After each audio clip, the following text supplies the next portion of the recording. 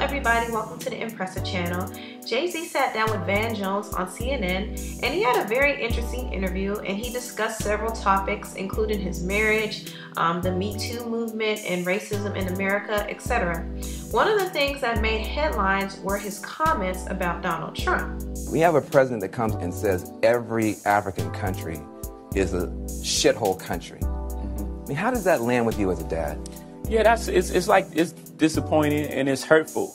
It really is hurtful, more so. Like everyone feels anger, but after the anger, it's really hurtful because like you're like looking down on a whole population of people, and you're so misinformed because these places have beautiful people and have beautiful everything, um, and it's just like this is the leader of the free world speaking like this.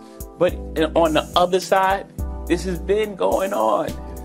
This is how people talk. This is how they talk behind closed doors. There was a moment where Donald Sterling had been exposed as this racist on a private phone conversation that he was having, and they took his team from him. And it's like, okay, that's one way to do it.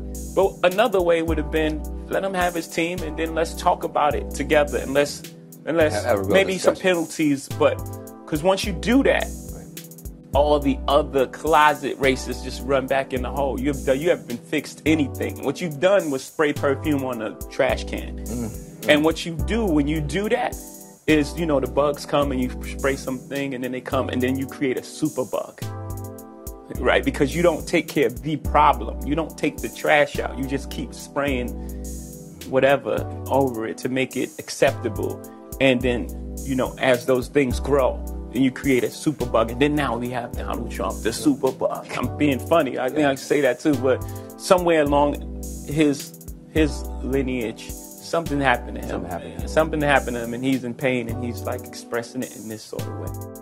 Van Jones also asked Jay Z a question on whether or not it was okay for Donald Trump to say horrible things but turn around and give people money and jobs. And this is related to Donald Trump taking credit for lowering black unemployment rates. And Jay Z was like, no, that's not the point. At the end of the day, you have to treat people like human beings. Money doesn't equate to happiness or self respect. So you can't make comments degrading African countries and turn around and expect praise from the black community because you hand out jobs here and there. And Donald Trump responded to Jay Z and he said this Somebody please inform Jay-Z that because of my policies, black unemployment has just been reported to be the lowest rate ever recorded. First of all, Donald Trump needs to stop taking credit for the eight years of groundwork President Obama put in to rebuild this country's economy and provide millions of jobs for people across the nation. Seriously, stop it. Donald Trump would have never been able to build this country back up from the horrible recession it was in the way President Obama did. Anyway, I find it interesting how he would take the time to respond to Jay-Z. And mind you, Jay's comments were a lot more thoughtful and less offensive than some of the things that have been said about Donald Trump. However, Trump responded to Jay but notice he didn't respond to Eminem, who openly criticized and berated Trump on several occasions. Scotland might have to be our new home because right now shit ain't going so well in the States, and I just want to take this moment out right now to say motherfucker Donald Trump. Eminem dissed Trump during his freestyle on the BET Hip Hop Cypher, and you notice Trump never said one word. You know why? You guessed it. Obviously because he's white. Trump knows better than to go against Eminem because a lot of Trump supporters are also Eminem fans. Trump is not going to respond and give Eminem the power to turn his younger supporters against him. No way.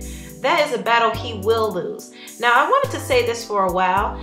The only reason Eminem dissed Trump in the first place is to revive his career and to get publicity for his new album. If Trump responded to Eminem, oh boy, that would have been good publicity for him. But Trump never said a word, and Eminem was really upset by that. Cypher, were you extremely angry? If I, I was I and it. am still straight, extremely angry. Yes. And I can't stand that motherfucker. And I feel like I feel like he's not paying attention to me. Okay.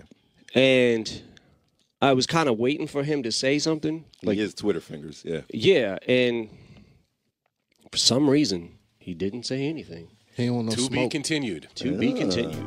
It's funny how Eminem hates Trump now that he's president, But years ago at the MTV Awards, he had Trump come out and introduce him in a presidential skit. He's got brains, he's got guts, and he's got Donald Trump's vote. Ladies and gentlemen, our great candidate, Slim Shady. Americans like you and like me, like me.